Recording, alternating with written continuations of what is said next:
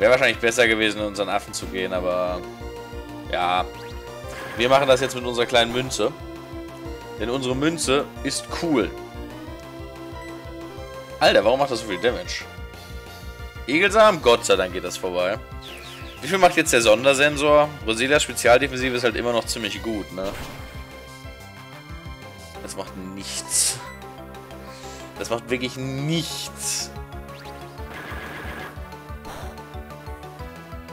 Ha. Ja, ich glaube, wir müssen dann doch leider nochmal auswechseln. Weil ich glaube, auf Dauer... Ne, komm, wir heilen einfach einmal hoch. Wir haben jetzt genug Kuhmilch dabei. Ähm, das Problem ist halt, warum ich drin bleiben wollte erst, ist halt, äh, Zauberblatt hat, soweit ich weiß, eine erhöhte Crit-Chance. War das so? Ne, Rasierblatt hat eine erhöhte Crit-Chance und Zauberblatt kann ich daneben gehen, ne? So war das. So, und wenn sie jetzt... Obwohl, Egelsam juckt ja auch nicht mehr, weil das ja nach uns agieren würde. Das heißt, dieses äh, Roselia ist besiegt. So, was kommt danach rein, ist die Frage. Was hat er denn noch? Er sollte ja noch sein Pliprin... Oh Gott, bitte lass es nicht schon Empoleon sein. Haben. Und... Was war denn sein letztes? Hatte er einen Fukano? Nee. Was hatte er denn? Ein Ponita. Hätten wir jetzt Erdbeben, ne? Aber es ist eigentlich okay. Das sollte Katatsumi eigentlich gut lösen können. Ich glaube nicht, dass das Ding schon Wild Charge kann. Wenn doch, dann GG. Okay, das macht nichts. Das ist gut. Die Aquavelle sollte hier das Beste sein, was wir machen können. Heuler, mein Freund. Ich greife nicht physisch an. Definitiv nicht. Wie besiegen wir das Empoleon, ist die Frage. Das ist echt eine gute Frage. Das Beste ist wahrscheinlich Katatsumi und Schlammbombe. Stampfer wird natürlich guten Damage machen. Eieiei. Ich würde es fast sagen, ne? Ich meine, was soll er uns können? Er kann wahrscheinlich irgendwie sowas wie Metallklaue, Blubstrahl. Ah, Staravia kommt ja erst noch, ne? Äh, das ist uncool. Ähm. Wir haben halt nichts gegen Flug-Pokémon, ne? Ich bin so dumm. Nein, nein, wir haben nichts gegen Flug-Pokémon. Keine Chance, Mann. Keine Chance. Keine Chance, Mann. What the fuck? Allem der Bedroher ist halt auch noch super nice. Und kein Doppelteam, das ist ebenfalls super nice. Und generell, wir haben auch gegen... Ich habe Lux komplett vergessen. Wir haben auch gegen Empoleon Lux. Also, wir sollten das schaffen. Wir haben Lux, wir haben... Ah, gleich Krebs. Äh, wir haben, was wollte ich sagen? Unsere kleine Wasserschnecke Katatsumi. Wir haben Tempohieb noch um eventuell zu finishen. So, der Funkensprung sollte auf jeden Fall reichen. Nice, der Crit hat, glaube ich, nicht gemeldert. Und jetzt sollte Empoleon oder Pliprin, Pliprin kommen. So, hier treffen wir... Alter. What? Sein Pliprin ist Level 36 und er hat es nicht entwickelt. Was ein Lappen. Was ist denn falsch mit dir? Okay, jetzt mal 50%. Blubstrahl kommt, den sollten wir gerade noch so tanken. Wobei... Er kann auch kritten, jawohl! Junge, das ist doch nicht dein Ernst. Als ob er krittet. Vor allem, wir haben auch noch Dingens. Ja, okay, ist ja gegen Empoleon nicht so gut gewesen, aber... Ach, Mann.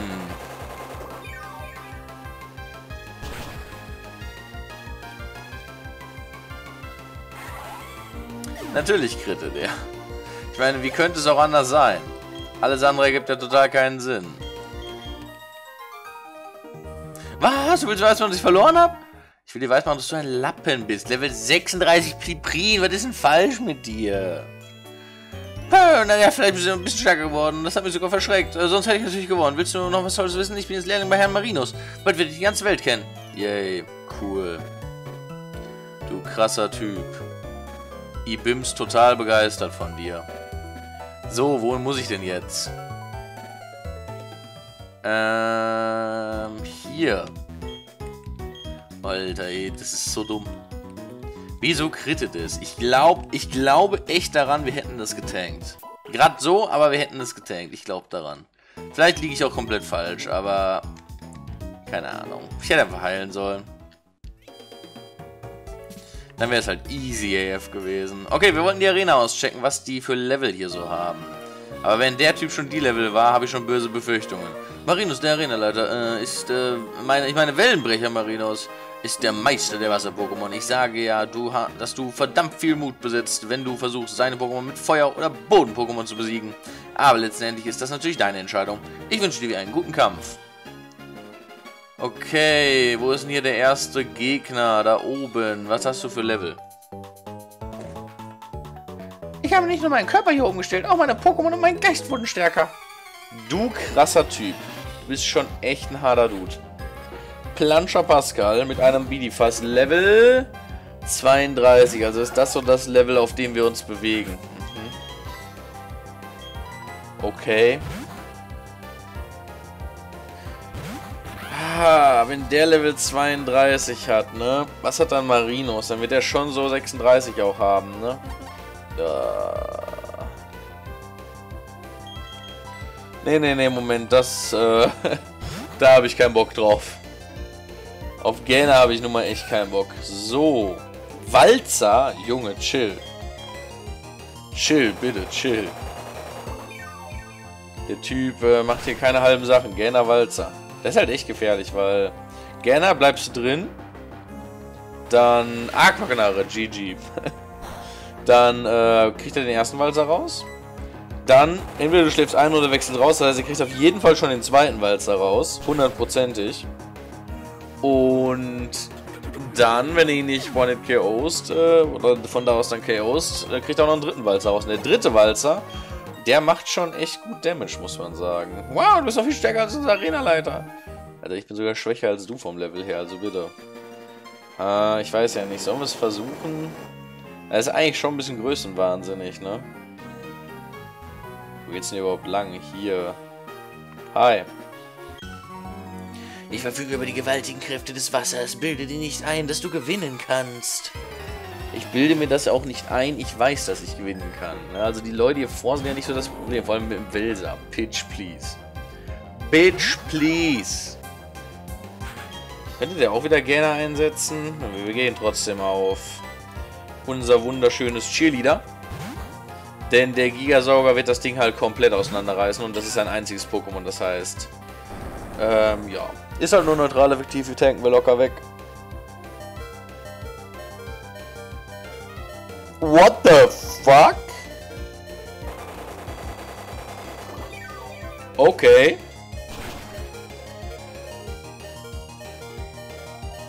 Alter, ich dachte schon, das überlebt jetzt auch noch. Holy shit, hat das viele KP. Holy shit, hat das Ding viele KP. Alter, stell dir vor, Intensität 9 hätte uns gekillt. Holy shit, was geht hier ab? Lockduft? Pff, vergiss es. Ist in neueren Generationen cool für Massenencounter, aber... Nee. Und das Kizu siegte trotzdem, ja. Ja, was soll ich dazu sagen? So, jetzt gehe ich wieder hier drauf und dann kann ich hier jetzt rumlaufen. Und dann komme ich zu dem Typen hier. Ich bin um die ganze Welt gereist und habe überall Pokémon trainiert. Und in dieser Arena habe ich mich letztendlich niedergelassen. Du kannst darauf wetten, dass dies eine schwere Arena ist. Vom Körpergewicht der Leute auf jeden Fall. LOL, Dab. Erstmal schön das Mikro verprügelt beim Dabben, nice. Ähm, Level 31. Vielleicht schaffen wir die Arena. Es wäre natürlich cool, wenn wir mit allen Pokémon wenigstens auf Level 30 wären. Aber okay, was willst du machen? Flügelschlag kommt. Aquavelle. Warum setzt du Aquavelle gegen einen... Ich ignoriere es einfach. Ah, wieso macht das so viel Schaden? Okay, ich glaube, wir hätten den Blutstrahl nicht getankt. Sind wir mal ehrlich, ich glaube, wir hätten den Blutstrahl nicht getränkt. Natürlich krittet er uns. Jawohl, ja moin. So gehört sich das doch. Richtig nice. Der Funkensprung nimmt ihn natürlich locker auseinander. Alles andere hätte mich auch ein bisschen verwundert, ehrlich gesagt. Was kommt jetzt? Ein Pelipper. Sind wir schneller als ein Pelipper ist langsam. Pelipper ist langsam, Leute. Aber schneller als wir. Aber er ist jetzt flügelstark ein. Das tanken wir halt locker. Eine Aquavelle wäre da vielleicht schon kritischer gewesen. Ja, ich glaube, eine Aquavelle hätte uns rausgenommen. Aber der Funkensprung nimmt ihn auf jeden Fall raus. What? Was? Er hat überlebt? Lol, ich sehe da kein Rot mehr. Holy shit. Ich habe einfach nur A gespammt, weil ich dachte, jetzt kommt der Dialog. Da hatten wir ein bisschen Glück, dass er nicht auf Aquavelle gegangen ist. Holy shit, ich sollte mehr aufpassen. Okay, immerhin haben wir dafür Lux auf Level 30. Das ist schon mal ganz nice. Hebo ist immer noch nicht Level 27. Du bist so stark, die stärkste Trainer, die ich kenne. Jo. What? Schon auf Level 30? Damit habe ich ja überhaupt nicht gerechnet. What the fuck? Das ist ja richtig gut gerade.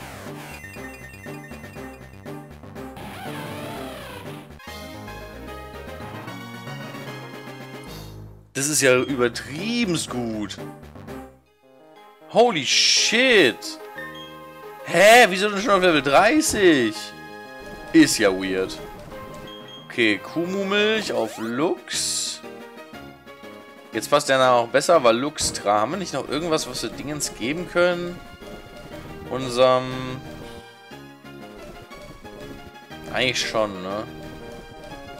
Also wir haben auf jeden Fall mindestens schon mal den Seegesang. Ist halt besser als gar kein Item auf Katatsumi, auch wenn das natürlich nicht viel wiederherstellt, aber ist besser als nichts zu tragen. Die Flinklau könnten wir noch wem geben in der Theorie. Haben wir noch einen Platz frei? Oh ja, perfekt, Bronze. So, dann machen wir jetzt mal hier ein bisschen Party weiter. Ich glaube, hier an den Rand konnte man nicht, ne? Genau, da war abgesperrt. So, hier waren wir ja schon mal. Dann geht es jetzt hier weiter. Ich möchte so stark werden wie ein Brecher Marinos. Ähm, ja. Dann mach das doch. Okay, mit dem Azuril auf Level 27 wird das eventuell ein bisschen schwer. Aber Kopf hoch. Kopf hoch. Ähm, ja.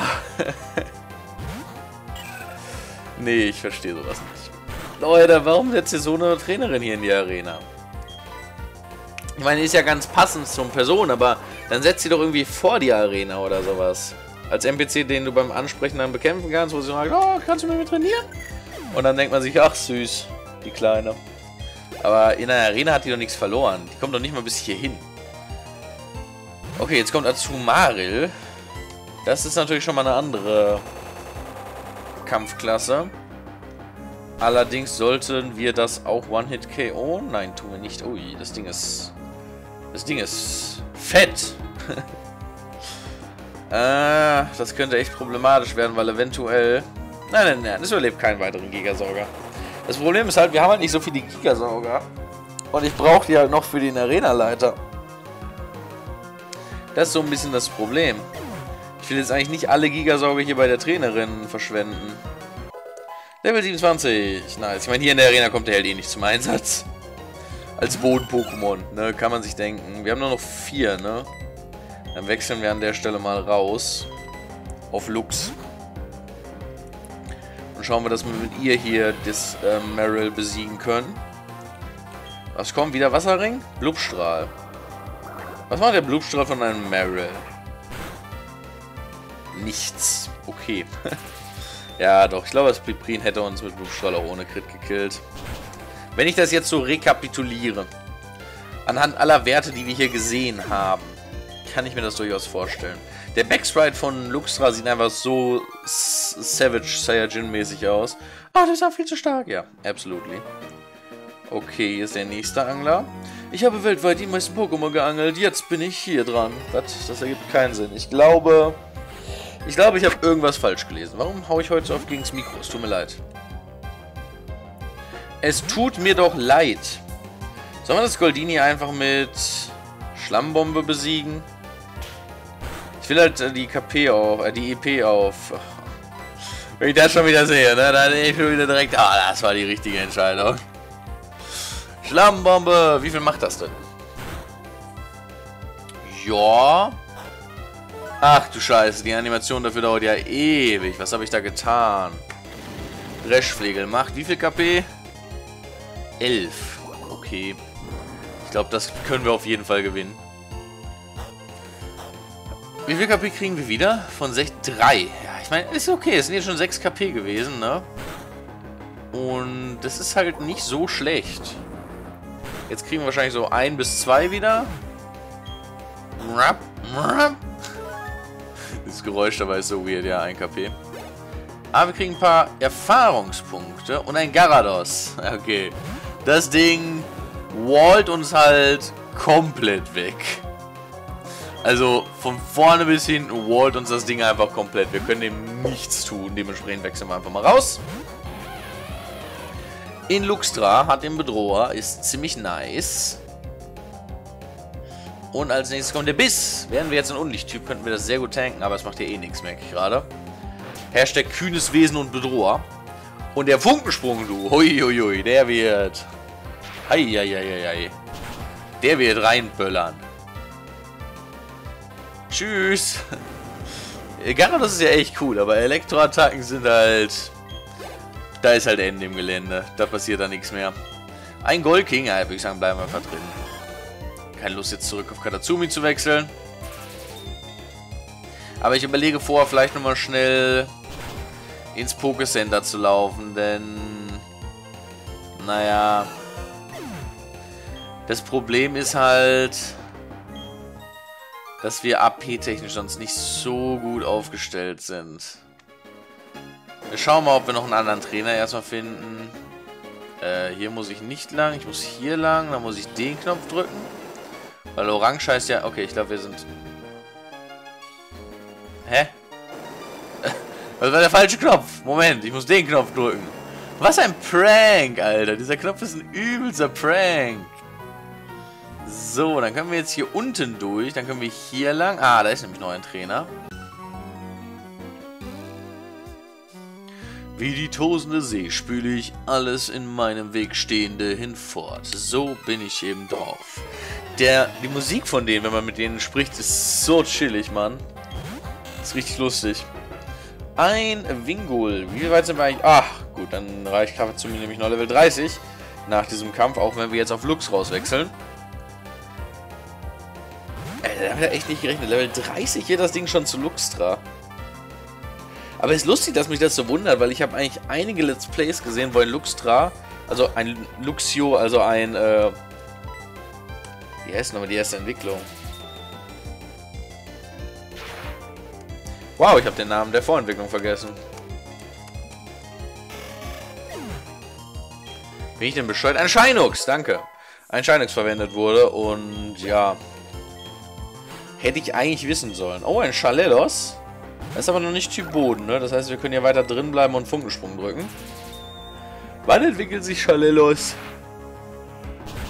weiter? Sollte ja auch bald sein, also irgendwie 32, 34, irgendwie die Ecke, da entwickeln sich ja die meisten Pokémon. Wobei, vielleicht entwickeln sich ja auch schon auf Level 30. Kommen aus der gleichen Generation, die Pokémon, also ist eigentlich gar nicht so weit weggedacht. Das Ding ist schneller als wir, das ist ein Problem. Die Aquavelle wird wehtun. Och nee. Wir sind ein kühnes Wesen. Wir sollten auf jeden Fall tanken, wenn wir uns selbst verletzen. Ja. GG. Wir wechseln raus. Hoffentlich kann das Ding keine Psychoattacke.